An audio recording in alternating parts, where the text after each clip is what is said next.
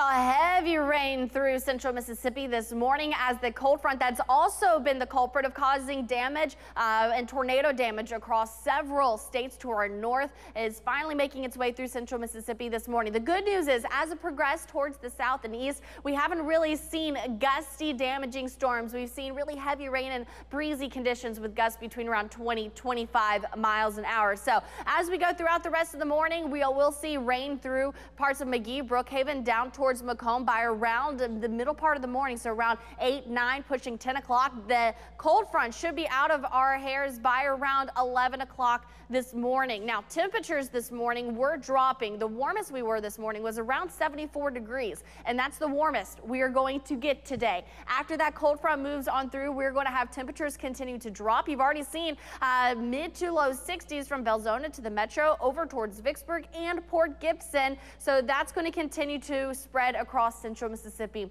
uh, this morning. Temperatures again getting into the 50s by around lunchtime today, if not just after that. And then the mid to low 50s by the time we should have our peak heating time for um, this time of year. Now, temperatures are going to continue to take a tumble. We'll talk about that in a second, but first let's head things over to our other system. So this is the rainfall totals over the past three to six hours. We're recording this around seven o'clock, so these rainfall totals are going to continue to increase throughout the rest of the day today. Over an inch of rain from Hollandale over towards Indianola, as well as up towards the Greenwood area, half an inch in Tchula and Cruger over half an inch over in Pitkin. So again, that rainfall totals are going to increase through the day today as this cold front progresses south and east. Time-wise of this, the heaviest of the rain making its way from Raleigh to Magee down towards Brookhaven and McComb. by around 9, 9.30 this morning. It should be out of our way by the later parts of the morning, around 11 o'clock.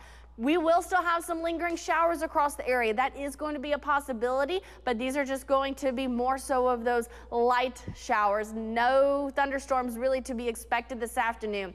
This clears out by sunset. Any cloud cover will eventually exit the picture overnight, and then temperatures will be taking a tumble after that. How much rain could we get from uh, around 7 o'clock through the rest of the day? Anywhere between about half an inch to an inch of rain can't be ruled out. But again, with this system weakening as it moves down towards the southeast, rainfall totals are not going to be as much, a quarter to half an inch possible from Magee down to parts of the Pine Belt and far south Mississippi. All right, here's how cold we could possibly be getting. By Sunday morning, mid to upper 30s possible, and then highs by your Sunday afternoon, mid to upper 50s. A few spots, especially down in South Mississippi, could hit that 60 to 61 degree mark. So this brief cool down, not going to last very long. We have a high pressure that's going to settle on in through the region on Monday, bringing temperatures temperatures into the 60s and then 70s could possibly return by Tuesday afternoon.